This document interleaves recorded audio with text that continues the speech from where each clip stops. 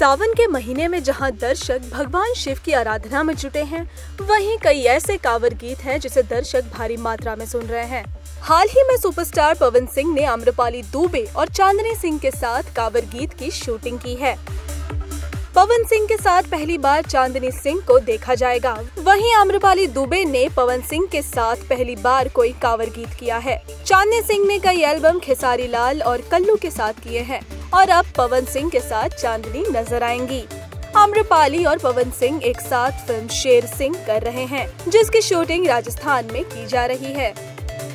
पवन और चांदनी सिंह के कांवर गाने की शूटिंग के कुछ फ़ोटो वायरल हुए हैं, जिसमें पवन सिंह भगवान शिव की भूमिका में तो वहीं चांदनी सिंह माँ पार्वती की भूमिका में दिख रही हैं।